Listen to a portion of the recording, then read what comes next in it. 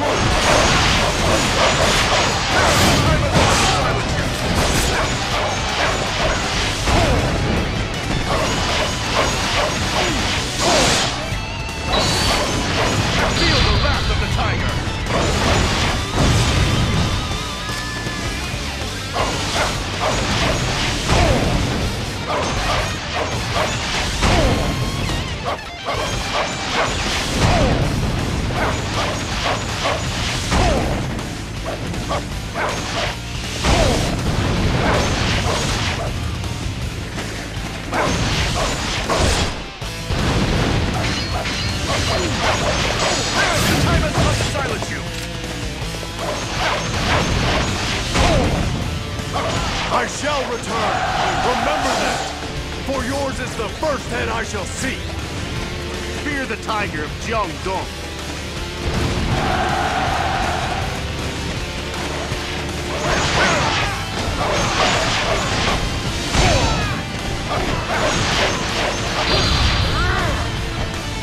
To retreat is not necessarily to lose.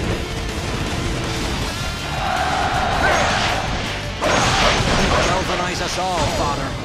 One day I will do the same.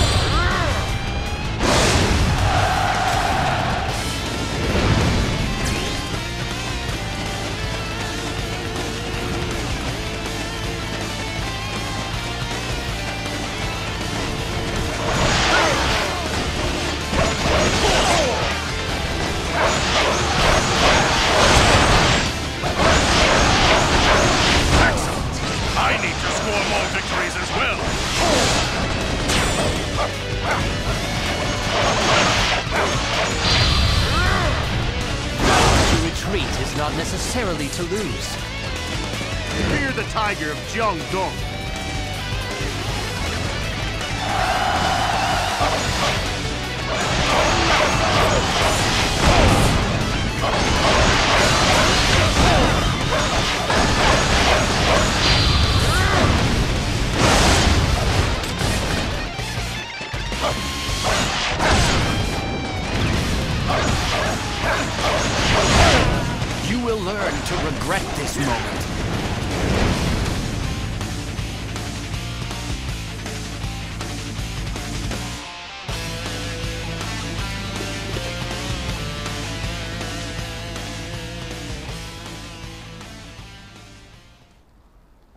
I am sick of weaklings!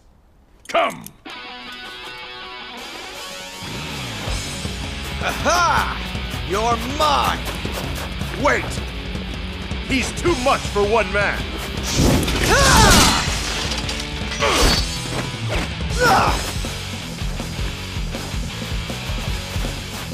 What were you thinking? Attacking on your own? We must combine our strength to defeat him. Now we stand a chance.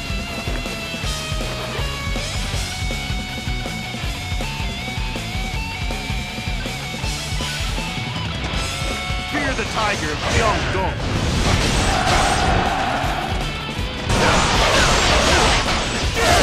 We will hold back Lu Bu.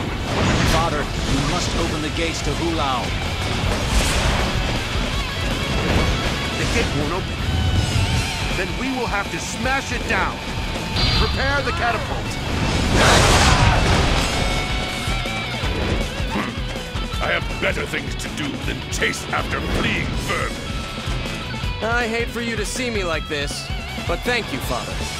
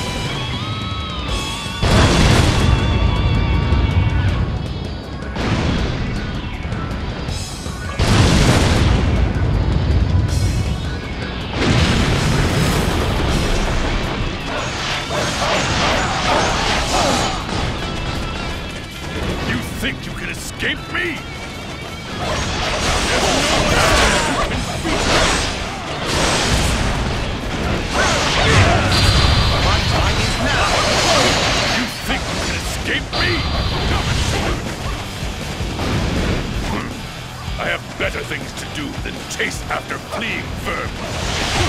The road to Dong Zhuo is clear. It is time to lay that animal to rest. You think you can escape me? So you are my next opponent. I'll crush you like all of the others.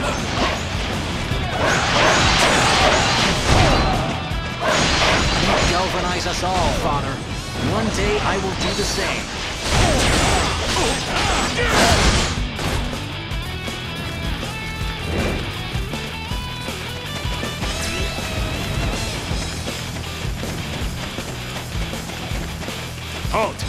I shall stop your rampage. Assume a defensive formation. You must protect the main camp.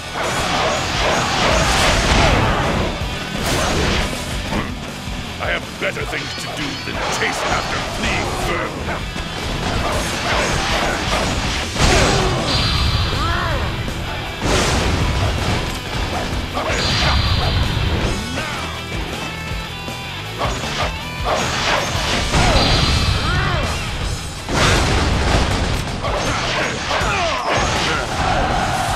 I shall pull back for now. However, we shall meet in battle again. Fear the tiger of Jiangdong.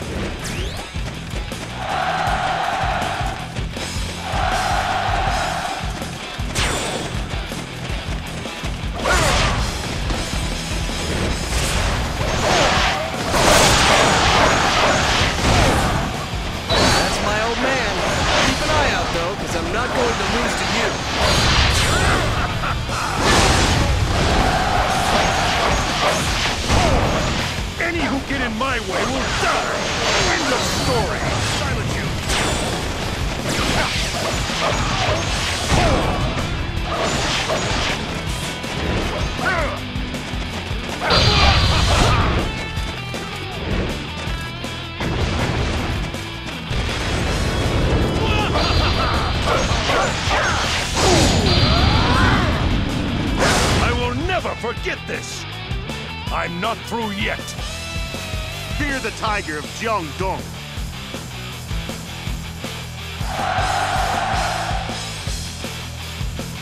Out of the coalition members, it was Sun Jian whose accomplishments towered highest. Having been driven off by the coalition, Dong Zhuo fled the capital and sought refuge in Chang'an. The coalition managed to retake Luoyang, which had long served as the center of Han influence. With their spirits high, Sun Jian and the others entered the capital. Yet what awaited them was a shock to all present. The once glorious capital lay in ruin. Like a deadly inferno, Dong Zhuo had swept through the city during his escape, burning all that he came across.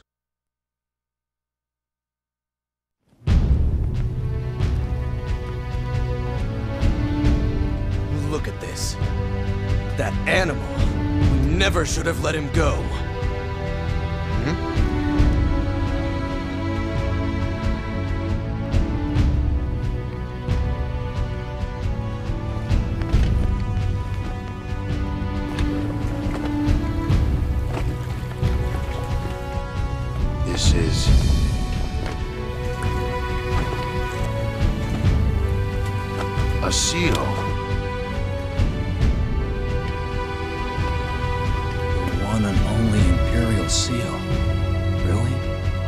That's incredible! It's like the heavens themselves have chosen you. I mean, it has to be. What are the odds of this happening?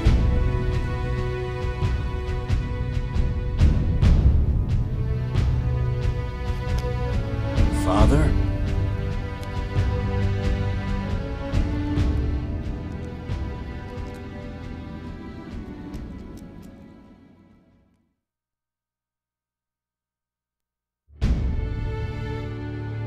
With the imperial seal in hand, Sun Jian left the capital and returned to Changsha. Meanwhile, Dong Zhuo was slain by his retainer Lu Bu at Chang'an. The emperor, who he had kept under his thumb, subsequently fell into the hands of his remaining followers. With the emperor in such a predicament, it was impossible to return the imperial seal to him at that time. And yet, those in the court and their own greedy ambitions could not be trusted with such a powerful object either.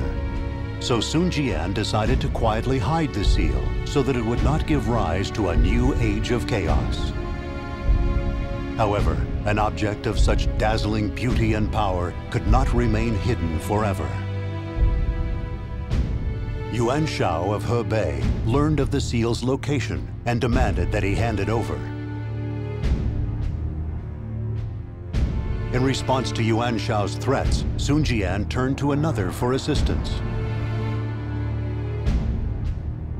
It was none other than Yuan Shu, the one man who equaled Yuan Shao in fame and prestige.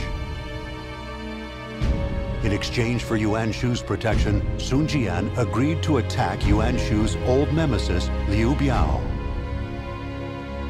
Sun Jian took Sun Ce with him, and together they set out for Liu Biao's territory of Xiangyang. Within his large, powerful hand, the imperial seal glistened in the sunlight, as if welcoming the impending battle.